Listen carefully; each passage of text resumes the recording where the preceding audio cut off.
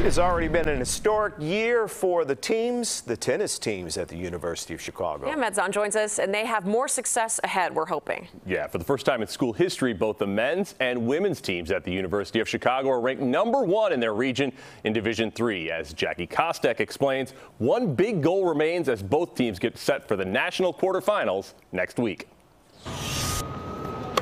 The goal has always been, and the expectation has always been, to compete for national title this year. Well, University of Chicago tennis coach Jay Tee has the highest goals for his teams. No one anticipated this. It's pretty unique and special to not just get one team there, but two teams there, and the success we've had along the way.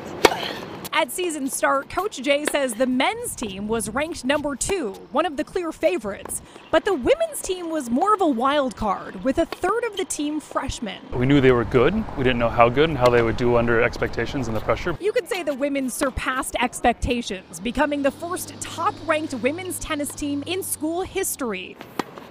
A few weeks ago, another first. Both the men's and women's team atop the standings at the same time.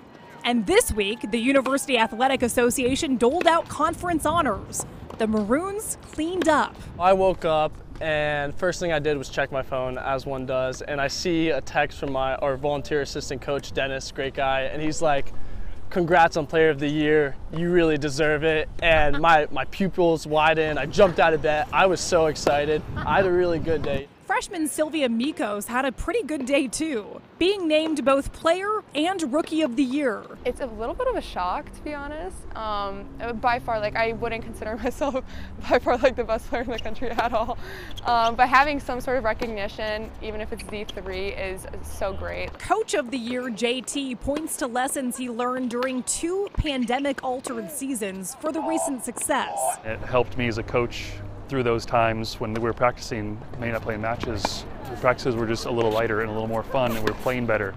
Uh, those kind of things translated into this year. Our atmosphere, the environment when we go to practice, when we wake up, even if we have 7 a.m. practices, we're all really happy to be there. And happy to get the chance to compete. U Chicago has never won a team NCAA national title, so I'm all about making history.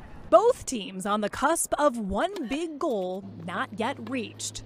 Jackie Kostek, CBS 2 News.